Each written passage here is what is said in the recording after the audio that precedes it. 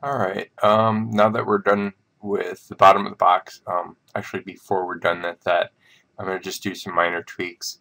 Um, something I'm going to do is I'm going to go into the modify panel here. And as you can see um, over here the tops they've got kind of a uh, uh, non it, kind of a flat but not flat um, scale to it. So I'm just going to scale them out like so. And make sure those are those work. And I'm going to do the bottom ones here. And just make sure you don't grab the indents. And I'm going to scale those in really quick somewhat something like that. And then I'm going to do the same thing to the top here and the bottom. Um, I'm just going to kind of scale this outward a little bit and then grab these and scale them inward. And that's just uh, just me being a little bit anal retentive on that but okay so that's pretty much good. So now that I'm done with this what I'm going to do is I'm going to um, unhide all and that's going to give us our box up here Okay, now if you want to work with um, something and you're you want it still visible, um, there's a couple things you can do. Um, Alt X is X-ray, um, and what that does is is the same thing as going into the pro object properties. Right click and go to object properties, and you can ch check see through here. Um, and what that does is allows me to see, you know, work through it. Um, the next thing you can do is freeze it. This basically means I can't select it, but I can work around it. So let's um, let's go in here, and the first thing we're going to do is we're going to change our our um, box to an editable poly because that's personally what I like doing. So you can go to right click and you can just straight up to an editable poly. You don't need to add a modifier in there go to the, uh, the first thing we're going to do is we're going to size it up. So I'm going to add in, add that little bit of thickness there. And then since I've got the same one selected here, I'm just going to add that little bit of thickness there. And then um, instead of going both ways uh, with that, I'm going to grab this polygon. Now I'm holding, again, I'm holding Alt and middle mouse to rotate. And I'm going to grab this polygon and I'm just kind of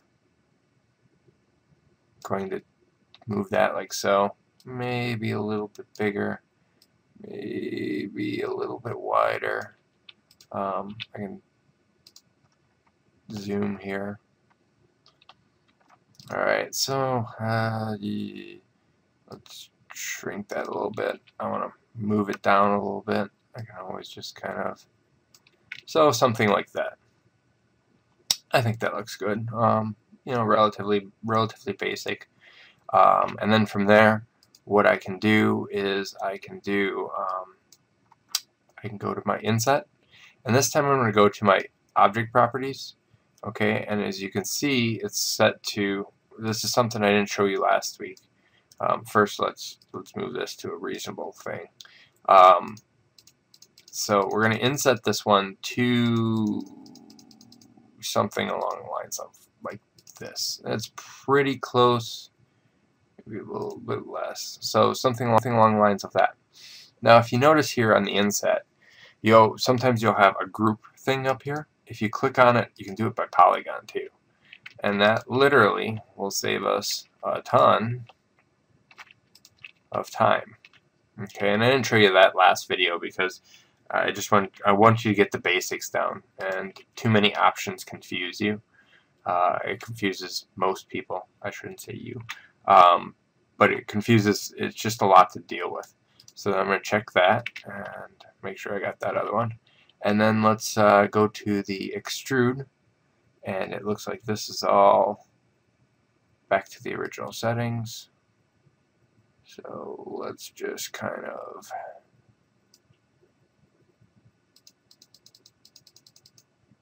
move that inward that looks about right and then we're just going to say check, like so, and there's our treasure chest top.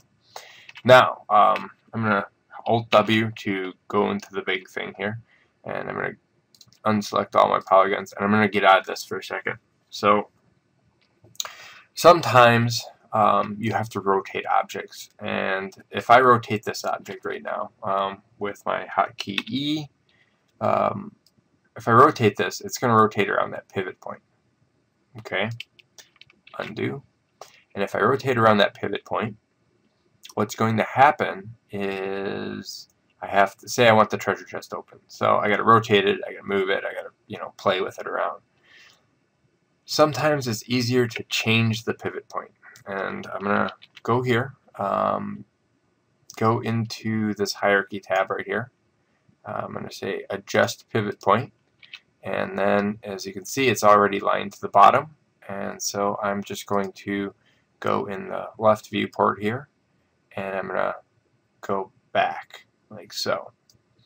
Um, now that I'm, I'm thinking about it one thing that I really didn't talk about um, and I should have talked about during the interface is that you can have different types of, of uh, views you can have realistic you can have shaded you can have uh, consistent colors I kind of prefer, prefer shaded I think it just adds a, a nice overall tone, especially when I'm looking modeling organic stuff. Um, and then you can control the left, the right, you know, um, just simply by, oops, simply by clicking on the left, and you can just go up here and, and click one of these. Um, and if you want, you can right click in the zoom all and if you go into layout you can actually choose different layouts and you can always move these move this X around. Um, I've always found I like working with this one um, because I just alt W back and forth. So that's that's my personal personal favorites. Um, but anyway back to this. So now that I've um,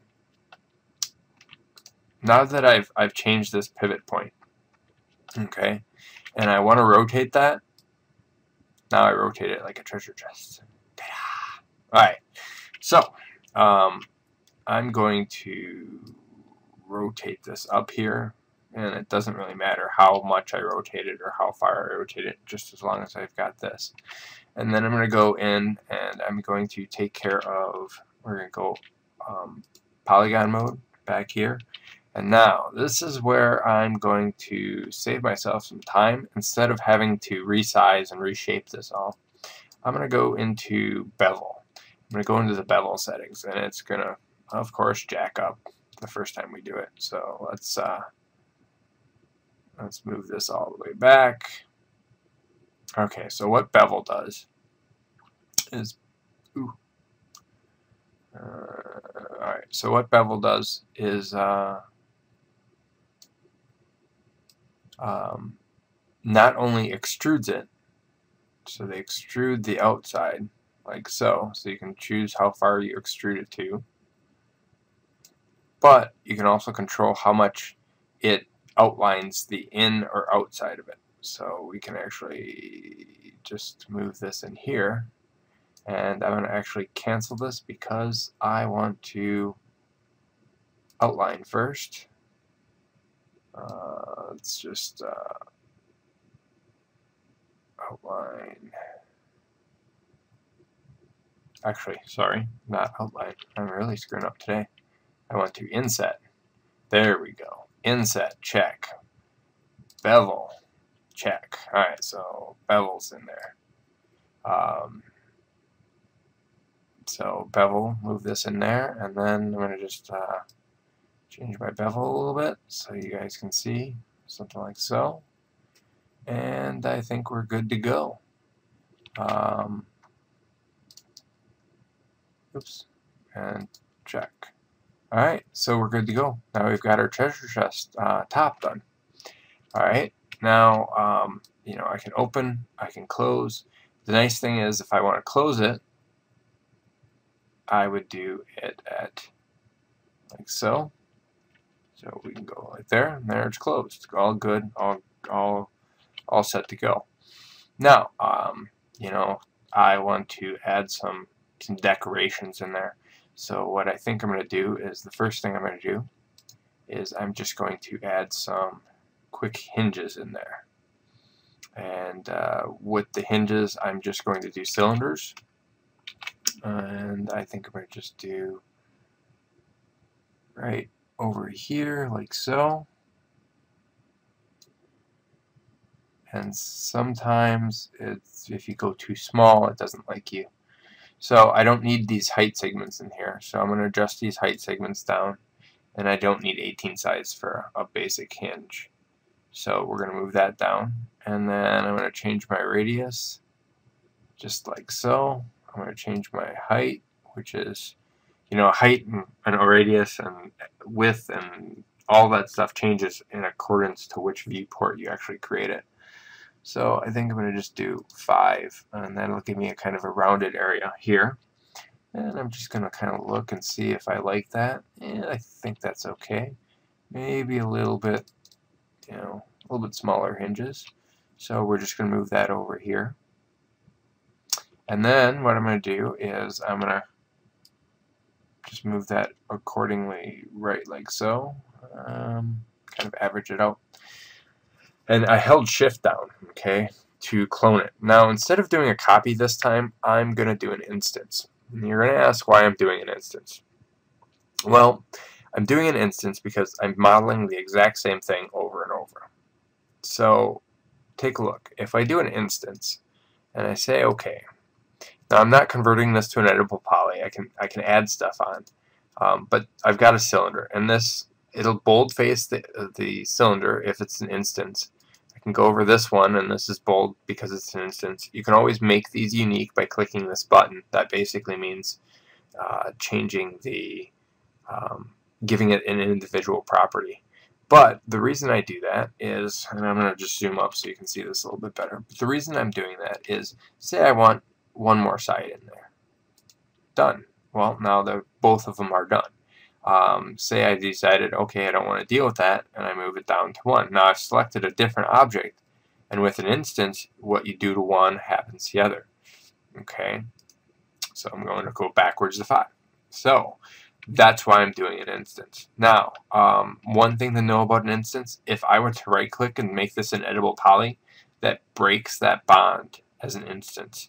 And then I can't, it basically means that I have to go back and, and uh, do that over again. Alright. So now that we've got that done, um, I think that looks pretty good. Now, I am going to do a... Uh, a, let's see we'll, we'll do a, a little skull plate on there for a lock. And so the first thing that I'm going to do is I'm going to go in my front viewport and I'm just going to create a, uh, a box like like so, a little bit thick, something like this. And I'm going to move it there, and I'm going to move it forward. And I think what I'm going to do is I'm going to move it downward.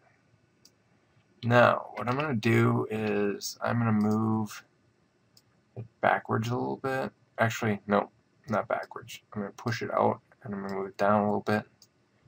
And that's kind of going to be the start of our lock. Now, for this particular um, lock, what I want to do is I'm going to make this thicker so that it fits in both. So we just got to find the thickness, which looks like not that one. That's this one right here. Alright, so I'm to just make it thicker so it kind of fits in both areas. Alright, now, there's a couple ways I can do this. Right now, this is just a placeholder, and I'm just kind of looking to see and feel how it, how it fits in there. Alright, so I probably would move it down a little bit, just kind of kind of put that in there like so. And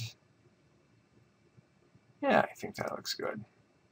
But, you know, I've got this in there, and I'm going to, um, I want to actually detail this up. So I'm going to put some polys in there. Um, normally you can just have this as a box and, and do stuff like that. But I'm going to detail this up. And what I'm going to do for that is I'm going to just, I'm going to, we're going to do a little box modeling. So I'm going to move this off to the side. And then I'm going to just instance it. Say OK. Now, one thing I've, I've done is I've created a lot of boxes. You notice I'm already on box 4. So one thing that we want to do is we always want to name stuff. And I know it's a pain in the butt, and everyone does not do it. But when you're doing a big scene, um, sometimes you can have anywhere up to, I don't know, I would say, I've seen up to a thousand different objects, you know, and it, it just gets worse, and especially if you've got skeletons and bipeds, and, and it's always worse. So we're going to name these um, in a second. I'm going to stop this right here, and then we're going to go to the next one.